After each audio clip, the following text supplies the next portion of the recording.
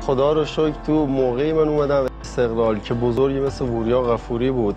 بزرگی رو من دیدم پیش آوریا یه انسان متین خوبی رو فقط واسه خودش نمی‌خواد واسه همه می‌خواد. دست اونایی که زور نداره دستشون رو می‌گیره. من همیشه موقعی که صحبت از مسائل اجتماعی و مدنی میشه برای من فوتبال دیگه اولویت نیست. بازیکنی که نه تنها بین هوادارهای تیم خودش محبوبه بلکه هوادارهای تیم‌های رقیب هم براش ارزش و احترام زیادی قائلن.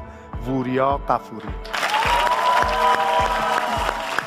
ما به مقاومت فلسطین افتخار می‌کنیم. ما افتخار می‌کنیم که به خاطر فلسطین تحت فشار. یه سری مصاحبه ها رو از مسئولان می‌بینه که اصلا انگار به درد مردم به زخم مردم نمک میپاشن. در کارشون کاسبیشون هنرشون ورزششون درس خوندنشون همه کارشون استفاده می‌کنن و بعضی از همین استفاده کننده ها که نمک خوردن نمکدان رو میشکنن.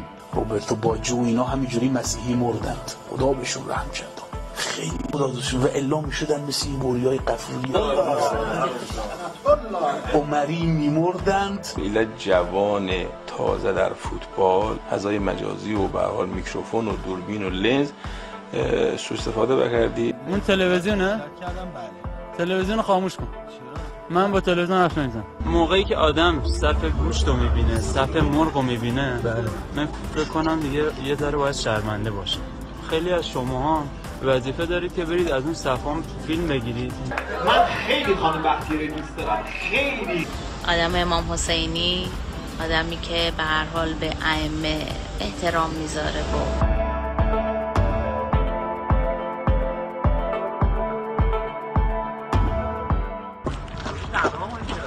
سلام بوریا تنها اومدی.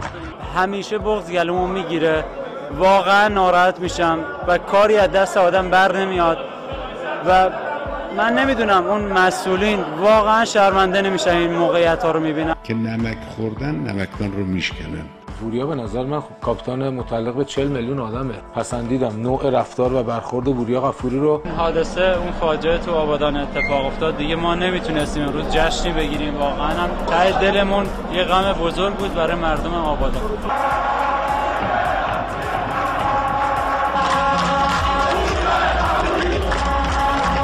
دغدغه اجتماعی دارم وظیفه هم هست بگم. تا آخر عمرم میگم. آیا که شما به خودتون اجازه میدین؟ یعنی وقاحت در چه حد؟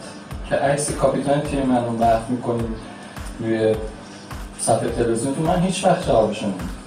حمایتی آقای دایی و کامنتی هم که گذاشتید صحبت می‌کنید.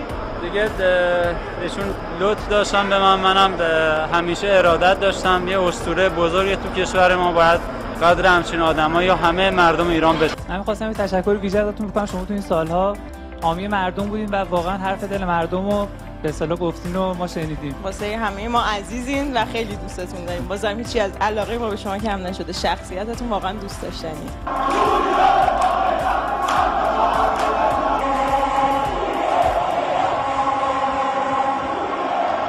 عمرمون کوتاه. ما باید سعادتمند زندگی کنیم. این حق مردم ایرانی که سعادتمند زندگی کنه